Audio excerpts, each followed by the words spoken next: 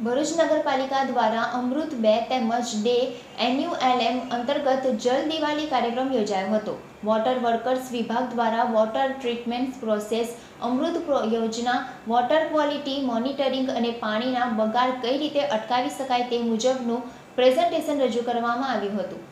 અમૃત બે તેમજ ડે એનયુએલએમ અંતર્ગત આજરોજ ભરૂચ નગરપાલિકા ખાતે જલ દિવાળી કાર્યક્રમ ફ્રેઝ એક યોજવામાં આવ્યું હતું. આ કાર્યક્રમ અંતર્ગત ભરૂચ નગરપાલિકા પ્રમુખ વિભૂતિ યાદવ, ઉપપ્રમુખ અક્ષય પટેલ, કારોબારી ચેરમેન હેમેન્દ્ર પર- પ્રજાપતિ, વોટર વર્કર્સ અને ગટર કમિટી ચેરમેન, સમાજ કલ્યાણ કમિટી ચેરમેન, અન્ય કમિટીના ચેરમેનો, સભ્યો એસએચજી ગ્રુપ મેમ્બર્સ કર્મચારીગણ ઉપસ્થિત રહ્યા હતા. આ કાર્યક્રમમાં નગરપાલિકા પ્રમુખ તેમજ કારોબારી ચેરમેન દ્વારા કાર્યક્રમને અનુલક્ષીને માર્ગદર્શન આપવામાં આવ્યું હતું.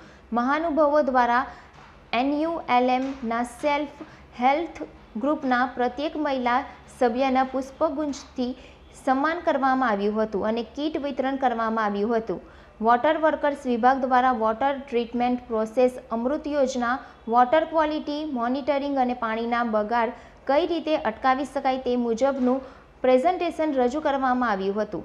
એસએચજી ગ્રુપ મેમ્બર્સને ભરૂચ નગરપાલિકા દ્વારા અયોધ્યાનગર વોટર ટ્રીટમેન્ટ પ્લાન્ટની વિઝિટ કરવામાં આવી હતી અને આગામી સમયમાં એસએચજી ગ્રુપ મેમ્બર્સને ભરૂચ નગરપાલિકા દ્વારા શહેરમાં વોટર ક્વોલિટી મોનિટરિંગ માટેના સેમ્પલિંગની તેમજ પાણીનો બગાડ ન થાય તે માટે આઈઈસી એક્ટિવિટી કરવા અંગેની ટ્રેનિંગ અને માર્ગદર્શન આપવામાં આવ્યું હતું.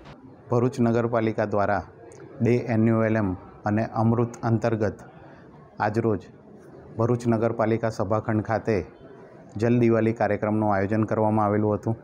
એમાં ભરૂચ નગરપાલિકાના પદાધિકારીશ્રીઓ, અધિકારીગણ અને સખી મંડળની બહેનો હાજર રહેલી હતી. આપણે પાણી શહેરની અંદર રો વોટર મેળવી એનું ટ્રીટમેન્ટ કરી અને કઈ રીતે આપણે શહેરીજનો સુધી દરેક ટેપમાં પહોંચાડીએ છીએ એની વિગતવાર માહિતી દરેક સખી મંડળની બહેનોને અને ઉપસ્થિત પદાધિકારીઓને આપવામાં આવી. એક ટ્રેનિંગ શેડ્યુલ ગોઠવવામાં આવેલું હતું. તેમજ બહેનોને પાણી અંગેની એક કીટ પણ આજરોજ પદાધિકારીશ્રીઓ દ્વારા આપવામાં આવેલ છે.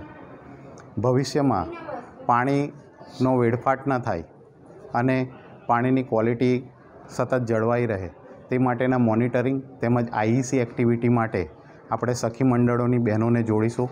આ પ્રથમ ફેઝનો કાર્યક્રમ હતો અને આવનારા ફેઝમાં આપણે બીજા ત્રણ ફેઝના કાર્યક્રમ કરવાના છે અને પાણી સાથે સંલગ્ન એક્ટિવિટી આપણે સખી મંડળોની બહેનો દ્વારા હાથ ધરવામાં આવનાર છે.